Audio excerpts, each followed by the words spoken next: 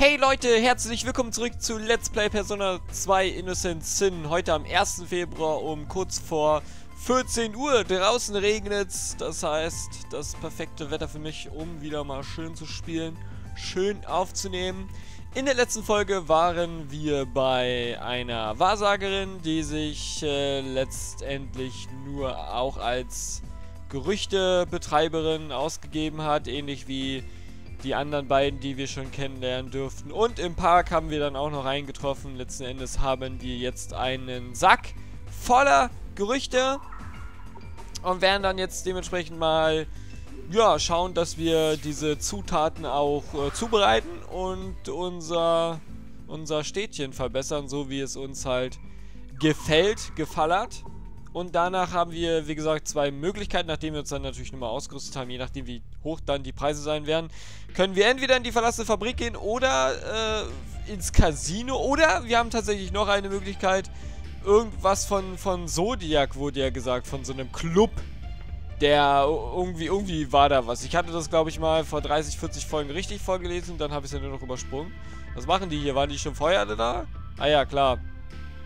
Die Teufelsbeschwörung.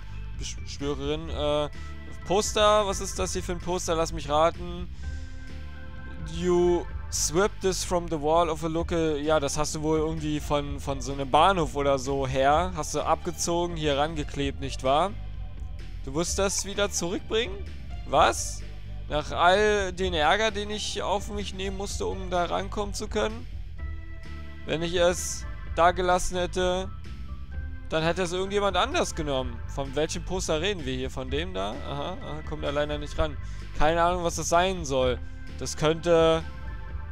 Das könnte dieser... Oh. Gut, das ist aber sehr fantaseriös. Dieser Turm von Seattle sein, der ja vor einigen Monaten hätte weggebombt werden sollen. Hm.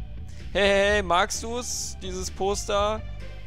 There the Muses. Ach so, dieses Konzert. Diese, diese Musen, diese drei Leute da. Du weißt doch, wer sie sind, oder? Nein. Ähm, ja, sie wurden, sie werden von Ginji Sasaki produziert. Es ist eine heiße Teenager-Band, die über die jeder spricht. Besonders, es wird besonders über den dritten mysteriösen Member gesprochen, also Mitglied. Solche Poster findest du nicht überall, mein Freund. Nur ein äh, Super Detective wie ich kann so etwas Seltenes finden. Hey, Finger weg. Wenn du, ähm... Wage es ja nicht, deine, deine Fingerabdrücke darauf zu machen. Aha, mhm, aha. Also hier auch, du musst mich doch, du machst doch wohl Witze, ja. Und irgendeiner hat nicht nur die Band populär gemacht, sondern auch Lisa, wie wir erfahren haben. War, war doch, glaube ich, auch in der letzten Folge, ne? Die ist ja wohl angeblich äh, das dritte Bandmitglied. Soll ich die jetzt auch nochmal anquatschen? Oh, Junge, die beiden haben sich überhaupt kein bisschen geändert. Sie verhalten sich immer noch so wie in der Highschool. Ach ja, die beiden hier. Die, die beiden. Okay, und was hast du noch zu sagen? Oh, komm schon. Poster aufzuhängen? In dem Alter? Oh, ich schätze... Du musst irgendwie weiter träumen. Ähm, also bitte, ja. Es gibt ja heutzutage auch sehr, sehr viele äh, Spiel-Wallpaper. Also da nimmt man dann einfach, ja, beispielsweise irgendwie einen Screenshot, weil die Spiele mittlerweile so gut aussehen. Und da pappen sich die Leute das einfach an die Wand. Ich finde das nicht schlimm. Ich war nie einer davon. Also meine Wände waren immer kahl. Aber ich dachte mir schon so das ein oder andere Mal, ja, wenn ich das Geld hätte. Klar, warum nicht? Also wenn ich, wenn ich Geld hätte, würde ich vieles machen. Ich würde mir eine Playstation 1 Kollektion anlegen. Ich würde mir schon so ein paar Poster holen, so Playstation 1 Poster oder irgendwie sowas. Also ich würde viel machen, aber das ist halt so, das ist halt wirklich Luxus. Das ist das, ich weiß, ich brauche es nicht und also wenn ich die Möglichkeit hätte, ja. Aber das ist jetzt nichts, wo ich da wirklich hart drauf hinarbeiten würde. Und da gibt es ja auch wirklich Leute, die dann ihr Hab und Gut einfach da rein investieren. Ja, es ist immer noch gesünder als Zigaretten oder so, sage ich mal, aber irgendwie, ich weiß nicht. Also generell, physische Sachen sind immer besser als so Nahrungsmittel. In gewisser Weise sind Zigaretten ja auch Nahrungsmittel, weil du sie ja wegwirfst. Und sowas behältst du ja dann, aber ja, ich äh, bin da nicht so... Ja, nee, brauche ich nicht. Nicht unbedingt so. Wieso? Was, was passiert jetzt hier? Ach, das, ich musste das machen, oder was? Ich weiß, äh, verstehe, was du sagst, aber trotzdem. Ich kann mich nur entschuldigen. Nach all dem, äh... Äh, nee, ich habe niemals zuvor von dieser Maskerade gehört. Okay, also ich musste hier wirklich hin. Tamaki sagte, dass sie auch nichts davon wüsste. Ha? Du sagst mir, dass diese beiden Babes, auf die ich die ganze Zeit gestarrt hatte, deine Klassenkameraden sind, waren? Ja, ich schätze. Diese da, das ist Asashi und die da ist Mepo. Ey, das sind doch ihre Freundinnen. Also bei Mepo bin ich mir hundertprozentig sicher, bei der anderen nicht mehr so. Das würde dann auch erklären, wieso sie vielleicht die dritte ist, weil sich irgendeiner von den beiden, äh, also Asashi oder Mepo, sich gewünscht haben, da wieder zusammenkommen zu können. Da, das wird wahrscheinlich die Geschichte sein. Haha, ist das so. Nun dann, dann ist äh, dieses ein weiteres Mysterium gelöst. Und, äh, es bleibt aber immer noch äh, nichts aus with the... Ja, aber die dritte, die müssen wir natürlich noch herausfinden. Der geheime Member ist niemals niemand anderes als du, meine Liebe. Ginkgo, ein, äh, ja, Teen, äh, Teen Idol, also, ich, nicht verwechseln mit Adult. Also, ja, ein, ein, äh, ne? Okay, ich google. Ja, Idol übersetzt man natürlich mit Idol. Ihr versteht schon, hä? Äh, komm schon. Du kannst doch wohl die bessere Witze einfallen lassen, oder? Was? Du musst es ja nicht so sagen, weißt du? Äh, ja, also ich liege bestimmt nicht falsch. Meine, äh, Erklärungen, meine Schlussfolgerungen sind solide und so weiter, wasserdicht quasi. Wenn man nach den Gerüchten ausgeht, ist der dritte Member ein stylisches Mädchen mit blondem Haar. Komm schon. Du passt ja wohl perfekt in die äh, Beschreibung zum T. T? T? Verstehe ich nicht, aber okay. Hey, warte mal. Ja, ähm, unterschreib einfach nur hier, bitte. Ich meine, du musst ja bald zu diesem Mu-Kontinent, oder? Weil der wahrscheinlich der Auftritt ist. Du musst in diesem Videoclip erscheinen, nicht wahr? Erstmal schon mal vorläufig ein Autogramm holen. Ähm, du willst doch sicherlich, wolltest sicherlich gerade gehen, oder nun? Du wirst dich mit den anderen beiden treffen bei diesem Kontinent, oder? Warum behältst du das nicht als Geheimnis? Hey, komm schon. Unterschreib doch mal endlich hier. Gib mir Autogramm. Gib mir dein Autogramm, gib mir dein Autogramm. 500 Mal. Oh, Alter, er hört halt echt nicht auf. Gib mir ein Autogramm. Und sie erstmal so, Sieg! Äh, hör auf! Du, äh, machst dich hier noch voll zum Deppen. Warum würdest du dich so in deinem Alter verhalten? Ah, sie ist eifersüchtig. Weil, oh, im Hintergrund wird erstmal verprügelt. Äh, verstehe. All diese Kinder in der Sevens haben auf, auf dieses Poster geschaut und haben gedacht, dass Lisa vielleicht ihr großes Debüt vorbereiten würde. Ach, das stimmt, ich erinnere mich an so einzelne Textboxen, wo irgendjemand davon sprach, hey, hast du nicht dein Debüt vorzubereiten? Oh shit, dieser Subtext. Haha, wer hätte denn das gedacht? Ich, ein, äh, ja, Star quasi. Ich übersetze es einfach mit Star. Lisa, ich würde nicht echt mich freuen, wenn ich du wäre. Hast du vergessen, dass diese Gerüchte wahr werden. Wenn das so weitergeht, dann wirst du wirklich ein großes Debüt feiern. Und äh, irgendwas ist komisch an diesem Poster. Es ist so, als würde dieses ganze Ding äh, ja quasi absichtlich aufgehangen werden, um Lisa zum dritten Member zu machen. Also ja klar, man pusht dieses Gerücht, damit es halt wirklich wahr wird. Also irgendjemand hat es wieder mal geplant. Ja, ja, mit den Gerüchten könnte das äh, die, der, die Arbeit der Maskerade sein. Ich weiß nicht, was sie versuchen damit zu bezwecken, aber es ist sicherlich äh, wert, mal da rumzuschnüffeln.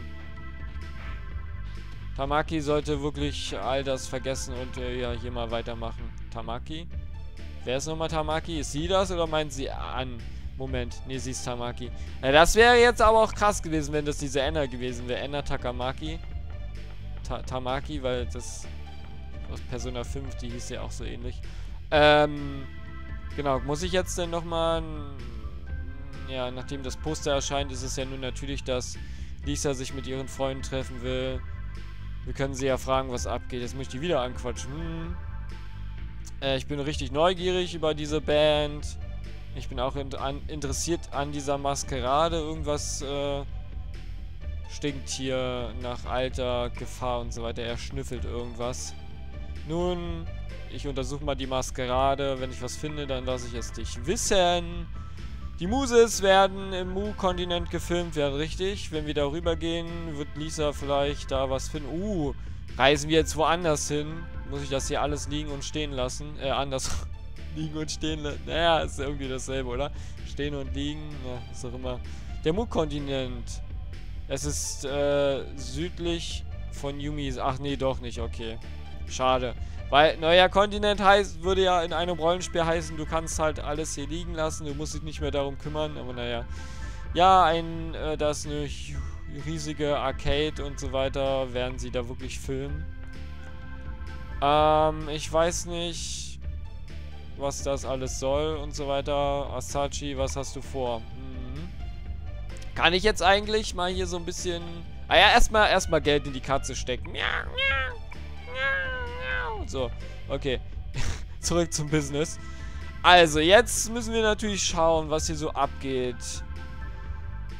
Äh, die kann ich das dann noch machen? Irgendwas konnte ich ja nicht machen, oder? Die Preise sind durchschnittlich, die Preise sind hoch. Also Preis gut, Waffe gut, Preis billig, Waffe billig. Großartige Variation, aber niedrige Preise. Naja, die Frage ist ja, was die mit teuer meinen. Ob teuer wirklich teuer ist. Weil äh, eine, eine krasse Variation und niedrige Preise klingt ja auch gut. Aber ich würde tatsächlich für das Teure gehen, weil ich ja sowieso immer momentan zu viel Geld habe. The quality is good, but the prices are high. The quality prices are about average, the prices are cheap. The quality is good, but the prices are high. Gut ist nicht mega krass, aber okay, ich mach das mal. Ja, so, zack. Weil wir können das ja anscheinend nur einmalig machen. Ansonsten würde ich sagen, äh, würde ich erstmal alles durchschnittlich halten, damit ich dann neu, neues Equipment habe und dann würde ich auf hochschalten. Aber das geht ja nicht. Man kann das ja anscheinend nur einmalig machen, oder? Ja, seht ihr, es ist jetzt weg. So, Qualität, so hier wieder dasselbe. Qualität ist gut, aber die Preise sind hoch. Ja. Yo.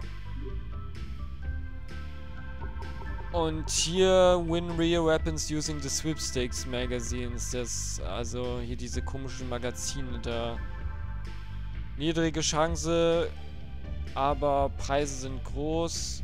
Du gewinnst, du verlierst meist, aber wenn du gewinnst, ist es wirklich selten.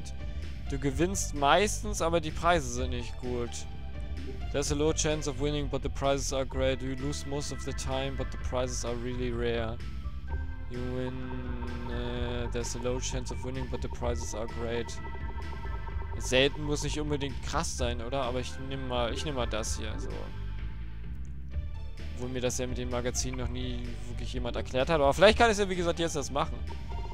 So, das war alles. Alles, alles, alles. So, ich guck mal direkt, ob ich das... You want to win some prizes? Just ask Tamaki about how you can enter. Ah, okay, okay. Ja, ich habe das wahrscheinlich jetzt erst freigeschaltet. Also, das mit dem Sweepstakes-Magazin ist Realität geworden. Ich werde jetzt mal hier das Formular ausfüllen und so weiter.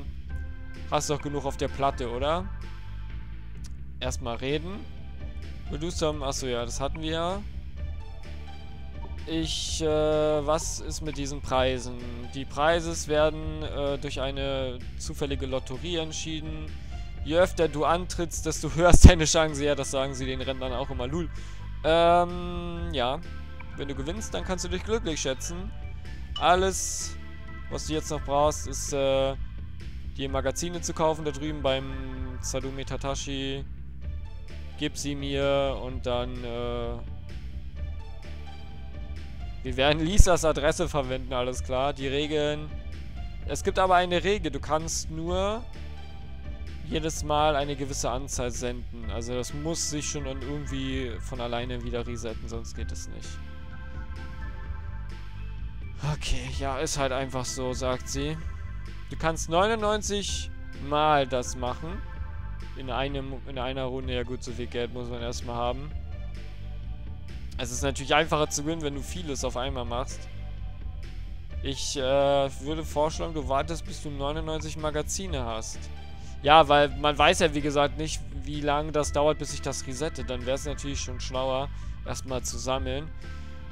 Ähm, nichts, äh, zu guter Letzt, äh, the contest results are, aren't immediate, don't rush over to check results. Check. Also es gebraucht seine Zeit natürlich, DHL, man kennt es ja, ist ja sowieso mal verspätet dran. Ähm, try walking around in a dungeon. Okay, also dann vergeht die Zeit, wenn ich in einer Dungeon laufe oder so. Also hat sie jetzt einfach angeboten, vertreibt irgendwie die Zeit. Und dann über Überlass den Rest einfach dein Glück, dem Glück, ja, na klar.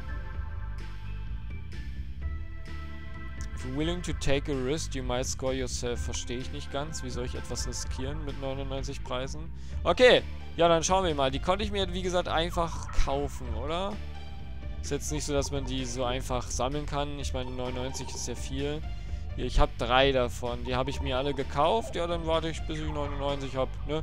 Und würde mal sagen, das war's heute mit Let's Play Persona 2 Innocent Sin. In der nächsten Folge machen wir doch mal eine kleine Shopping-Tour. Schauen, was jetzt hier so mit den Preisen ist. Sind sie wirklich alle irgendwo noch okay? Kann man darauf sparen oder habe ich mir jetzt jeden Laden zerschrotet? Und ja, ja, ja, ich, ich denke, das war's dann auch wieder mit dieser Folge. Also mit der nächsten dann. In der übernächsten Folge werden wir dann, wie gesagt, wahrscheinlich irgendwie, ähm... Aber wobei, wir haben es ja jetzt gehört, ne? Ist natürlich so die Frage, ob wir... Ich, ich würde irgendwie trotzdem... Ah, es ist so schwierig. War, war, ich glaube, bei Persona 1 gab es doch diese... Diesen einen Ort, der da... Ah, ich weiß nicht, war der später story-relevant? Ich würde trotzdem mal versuchen, in die äh, Fabrik zu gehen.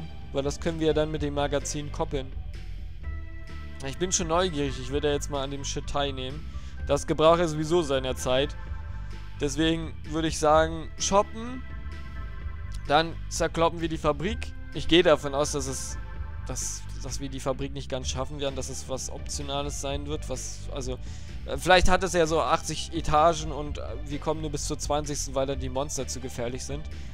Ähm, Genau, und dann haben wir vielleicht im besten Fall genug Geld, um uns 99 kaufen zu können, beziehungsweise brauche ich ja noch 96. Die geben wir dann ab und machen dann schätzungsweise mit der Story weiter. Also jetzt habe ich im Grunde die nächsten zwei Stunden gespoilert, gefühlt. Ja, mal gucken, ob ich das heute alles so schaffe in den nächsten 5, 6 Folgen. Ja, in diesem Sinne, bis zum nächsten Mal, Sieger.